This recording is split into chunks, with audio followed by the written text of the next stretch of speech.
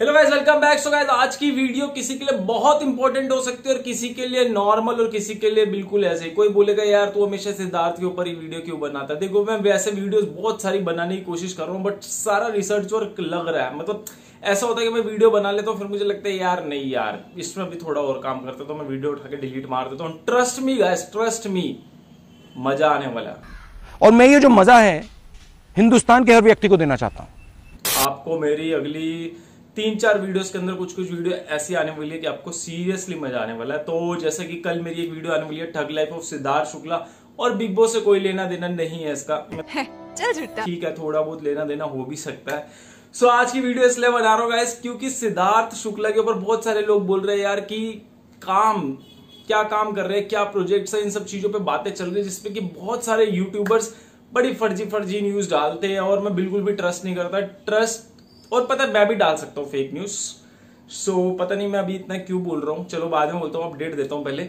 तो विंदु सर कल लाइव आए थे और विंदु सर लाइव इसलिए आए थे क्योंकि उनके फादर के ऊपर मतलब कि द ग्रेट दारा सिंह जो इंडियन रेसलर रह चुके हैं पॉलिटिशियन रह चुके एक्टर रह चुके W W hall of the fame 2018 में उनका नाम है, जाके आप डब्ल्यू डब्ल्यू की वेबसाइट पे देख सकते हो। वर्ल्ड बुक ऑफ़ रिकॉर्ड्स में भी नाम है तो यार ज़्यादा बोलने की ज़रूरत है नहीं आप जानती हो कितने बड़े लेजेंड रह चुके हैं। 500 से ज़्यादा फाइट्स अनडिफीटेड और उस जमाने में जब जिम होती भी नहीं थी तब तिरपन इंच की चेस्ट ओ भाई अभी यहाँ पे पता नहीं कब बनेगी अभी तो खैर जितनी बॉडी बनी हुई थी वो भी डाउन होगी पिछले छह आठ महीने में और ऊपर से लॉकडाउन अलग।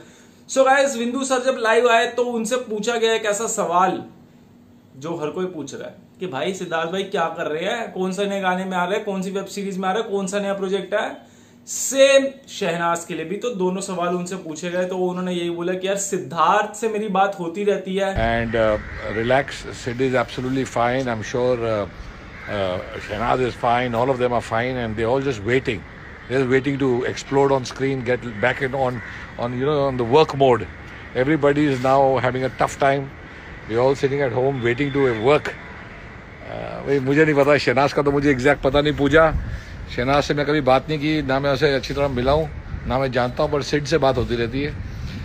सर ने वही बताया कि यार Siddharth is ready to explore Mumbai में हालात नॉर्मल नहीं है। इनफैक्ट दिल्ली में भी नहीं है। मेरा मैं तो रेड जोन के अंदर आ चुका हूँ।